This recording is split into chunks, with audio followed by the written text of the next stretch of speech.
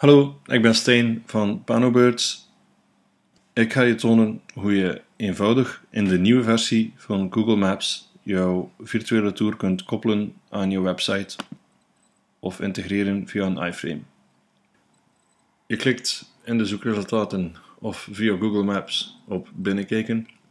Dan kom je op een vooraf bepaald standpunt in de tour terecht. Uh, de fotograaf bepaalt dit voor de klant. Uh, maar stel dat je zegt, ik wil van op een ander standpunt beginnen. Bijvoorbeeld uh, bij contact, op de contactpagina wil je deze foto toevoegen met de receptie. Dan navigeer je gewoon naar hier.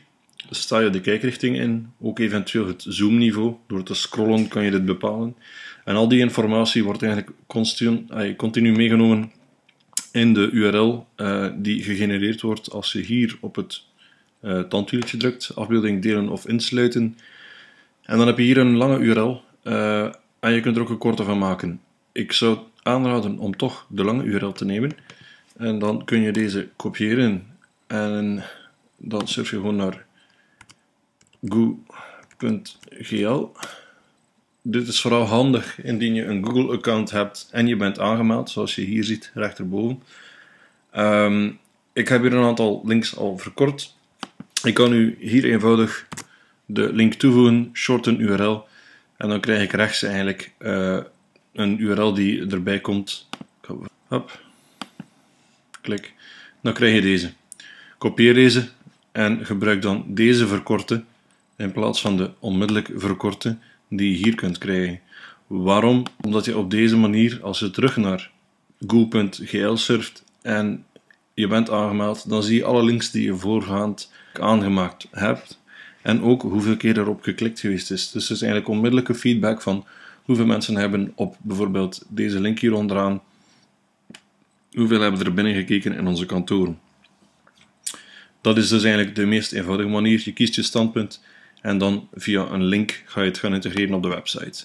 Als je daarop klikt, dan kom je eigenlijk in een fullscreen tabblad terecht. De URL's bijvoorbeeld kunnen ook handig zijn uh, als je deze toevoegt op een grondplan. Bijvoorbeeld een van de grotere klanten die een grotere virtuele rondleiding heeft, kan via een grondplan een aantal URL's genereren op verschillende standpunten, deze er dan aan koppelen zoals je hier ziet. Als ik in slaapkamers druk, dan komen we uit in de slaapkamers. En dit geeft qua gebruiksgemak toch een groot aantal voordelen in een uh, iets grotere virtuele rondleiding. De tweede manier om uh, de zaken te delen is afbeelding insluiten. Hier kun je een iframe genereren. Dit is bijvoorbeeld hoe het er zal uitzien op jouw website.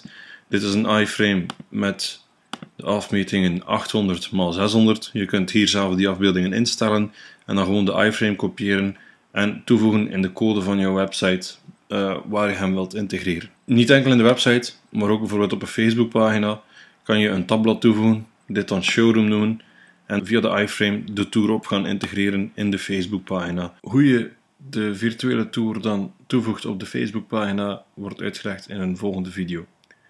Heb je nog geen virtual tour en ben je geïnteresseerd? Neem gerust contact op met mij via steen@panobirds.com. Veel succes met de integratie van jouw virtual tour